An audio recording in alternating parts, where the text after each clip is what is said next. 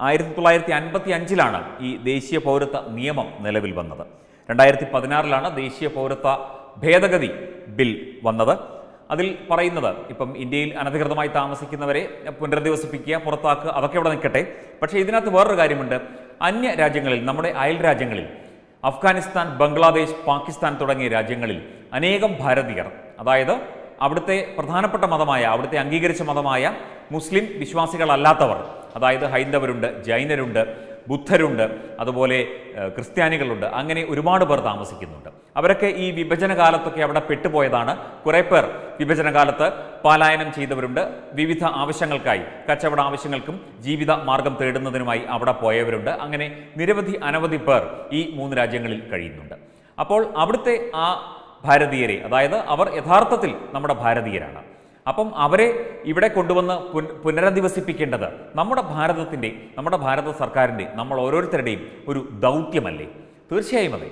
അതാണ് ദേശീയ പൗരത്വ രജിസ്റ്റർ വഴി നടപ്പിലാക്കുന്ന ഏറ്റവും പ്രധാനപ്പെട്ട കാര്യങ്ങളിൽ ഒന്ന്. ബംഗ്ലാദേശ് പാകിസ്ഥാൻ അഫ്ഗാനിസ്ഥാൻ എന്നിവിടങ്ങളിൽ നിന്നുള്ള ആ മുസ്ലിം പൗരന്മാർക്ക് പൗരത്വം നൽകാൻ പുതിയ നിയമം നിയമ ഭേദഗതി വഴി സാധിക്കും. മേൽപ്പറഞ്ഞ ഈ രാജ്യങ്ങളിൽ ന്യൂനപക്ഷ സമുദായത്തിൽപ്പെട്ടവർ നിരവധിയാണ്. ഹിന്ദു സിഖ് ബുദ്ധ ജൈന പാഴ്സി ക്രിസ്ത്യൻ മതത്തിൽ ഉള്ളവർക്ക് ഇന്ത്യയിൽ ആറു വർഷത്തെ സ്ഥിരതാമസത്തിന് ശേഷം ഇന്ത്യൻ പൗരത്വം ലഭിക്കും. അവർക്ക് ശരിയായ രേഖകൾ ഇല്ലെങ്കിൽ പോലും പൗരത്വം നൽകാൻ അനുവദിക്കുന്നതാണ്. വളരെ സുതാര്യമായ ദേശീയ പൗരത്വ രജിസ്റ്റർ അല്ലെങ്കിൽ ദേശീയ പൗരത്വ ഭേദഗതി ബിൽ. ന്യൂനപക്ഷ ഗ്രൂപ്പായി പരിഗണിക്കപ്പെട്ട ഈ ആറ് വിഭാഗങ്ങളോട് ഇവരുടെ ഇവരുടേത് അനധികൃത കുടിയേറ്റമായി കണക്കാക്കില്ല. ആ പരിഗണനയാണ് ഇവർക്ക് ലഭിക്കുന്നത്.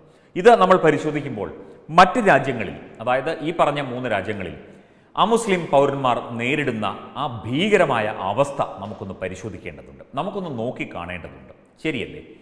വളരെ ശരിയാണ്. കാരണം നമ്മൾ ഈ രീതിയിൽ നമ്മുടെ രാജ്യത്തേക്ക് ഇവരെ കൊണ്ടുവരുന്നതിന്റെ ഉദ്ദേശം അവർ അവിടെ അനുഭവിക്കുന്ന ആ ദുഃഖകരമായ അവസ്ഥ തന്നെയാണ്. അവർ അവിടെ അനുഭവിക്കുന്ന എല്ലാ തരത്തിലുമുള്ള പീഡനങ്ങളാണ്. ശാരീരികം മാനസികം അതുപോലെ മതപരമായ പീഡനം. അവിടെ മുസ്ലിങ്ങളല്ലാത്തവരെ അഫ്ഗാനിസ്ഥാനിൽ ഇപ്പോൾ നമുക്ക് ആദ്യം അഫ്ഗാനിസ്ഥാനിലെ കാര്യമെടുത്താൽ അവിടെ മുസ്ലിങ്ങളല്ലാത്തവരെ അവർ എങ്ങനെ ട്രീറ്റ് ചെയ്യുന്നു? ഇപ്പോൾ കാബൂളിലൊക്കെ നിരവധി അനവധി സിഖ് ജനത വസിക്കുന്നുണ്ട് കച്ചവടവുമായി ബന്ധപ്പെട്ടും മറ്റും. അവർ അവിടെ അവർ നേരിടുന്ന ആ ആരാധനയ്ക്കുള്ള വിലക്ക് അവിടെ ആരാധനാലയങ്ങൾ നമ്മുടെ മതത്തിൽപ്പെട്ടതായാലും അന്യ അമുസ്ലിം മതത്തിൽ ഏത് മതത്തിൽപ്പെട്ടതായാലും ആരാധനാലയങ്ങളൊന്നും പണിതുയർത്താനോ മറ്റോ അനുവാദമില്ല. അവർക്കെല്ലാവർക്കും കൂടി പണ്ട് ആരാധനാലയങ്ങൾ ഉണ്ടായിരുന്നു ആ പ്രദേശത്തൊക്കെ. ശരിക്കും ഇന്ത്യയുടെ ഒരു ഭാഗമായിരുന്നു പണ്ട് അഖണ്ഡ ഭാരതം എന്ന് പറയുന്നതിന്റെ ഒരു ഭാഗമായിരുന്നു അഫ്ഗാനിസ്ഥാൻ എന്നാൽ ഇപ്പോൾ ഇന്ത്യയുമായി പാക് ഒക്യുപ്പൈഡ് കാശ്മീർ വഴിയാണ് അതിർത്തി പങ്കിടുന്നത്. അതുകൊണ്ട് നേരിട്ട് നമ്മുടെ ഒരു അതിർത്തി അഫ്ഗാനിസ്ഥാൻ പങ്കിടുന്നില്ല. പക്ഷേ പണ്ട് ഗാന്ധാര ദേശം എന്ന് കേട്ടിട്ടില്ലേ? അതാണ് അഫ്ഗാനിസ്ഥാനിലെ കാണ്ടഹാർ കാണ്ടഹാർ എയർപോർട്ടുമായി ബന്ധപ്പെട്ട കാര്യങ്ങളൊക്കെ പ്രേക്ഷകർക്ക് അറിയാമല്ലോ.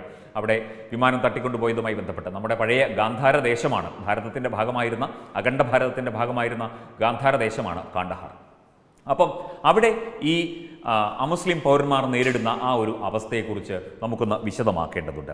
അഫ്ഗാനിസ്ഥാൻ പറയുന്നത് Afghanistan shall be Islamic republic independent unitary and indivisible state ഇപ്പോൾ താലിബാൻ ഭരണകൂടമാണ് അവിടെ കൈയാളുന്നത് ഭരണം കൈയാളുന്നത് അല്ലെങ്കിൽ ഭരണം നിയന്ത്രിക്കുന്നത് എന്നാൽ പോലും അവരുടെ ഭരണഘടന ഇതൊക്കെ തന്നെയാണ് പറയുന്നത്.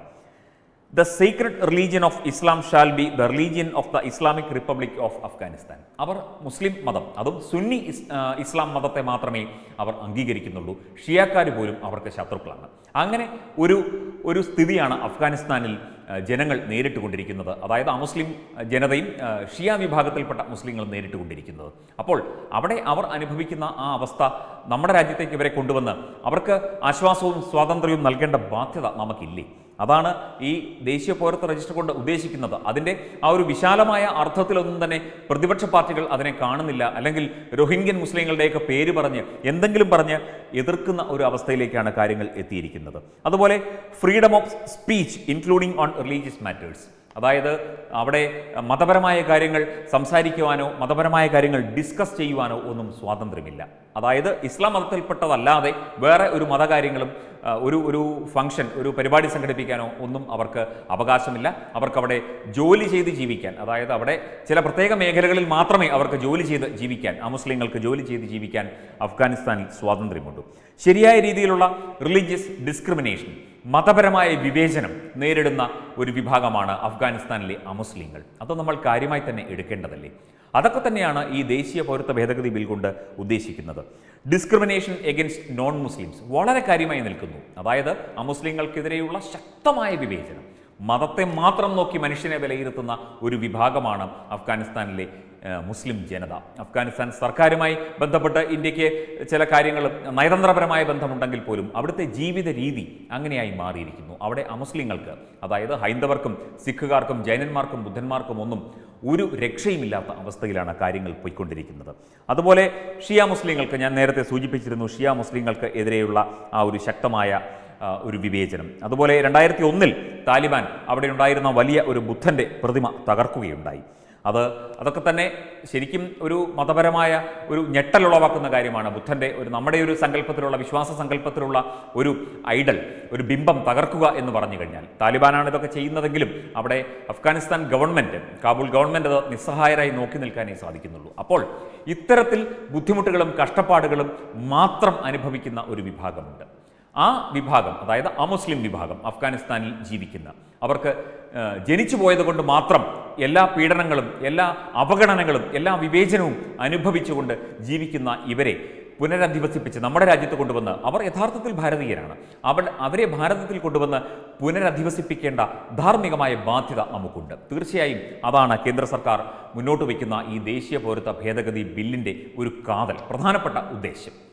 അതാണ് അതൊക്കെ തന്നെ വ്യക്തമായി മനസ്സിലാക്കാതെയാണ് ഈ പ്രതിപക്ഷ പാർട്ടികളും കോൺഗ്രസും ഒക്കെ ശക്തമായി ഇതിനെ എതിർക്കുന്നത്. ഇത് ഇതൊരു എതിർപ്പിന്റെ സ്വരം മാത്രമല്ല.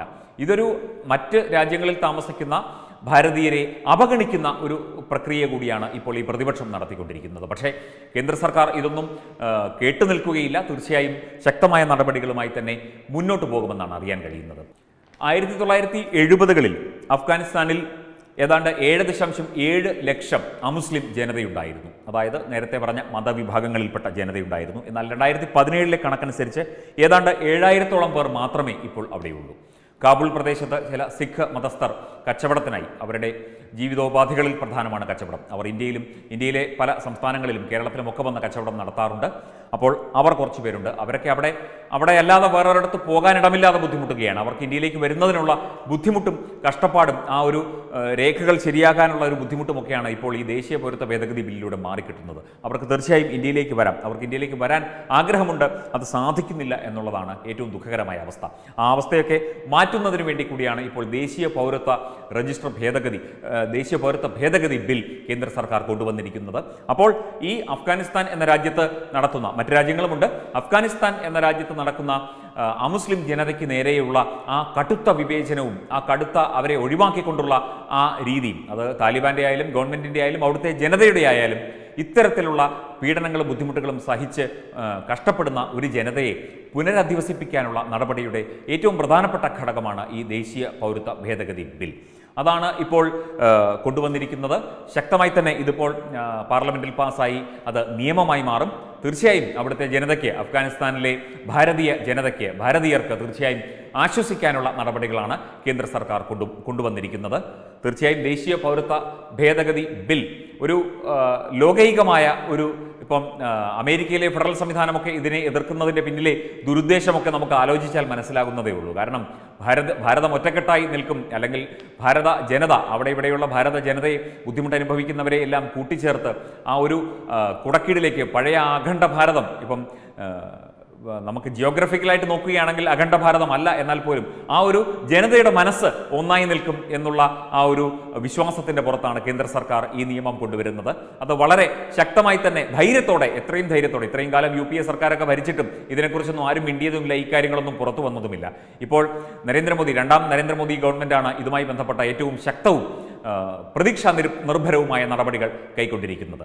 അഫ്ഗാനിസ്ഥാനിലെ അമുസ്ലിം ജനതയെല്ലാം ഭാരതത്തിലേക്ക് കൈപിടിച്ചാനയിച്ചു കൊണ്ടുവന്ന് നമുക്കവരെ തീർച്ചയായിട്ടും സ്വീകരിക്കാം. അത് നമ്മുടെ ഉത്തരവാദിത്തമാണ് നമ്മുടെ ബാധ്യതയാണ് നമ്മുടെ സഹോദരങ്ങളാണ് അവർ.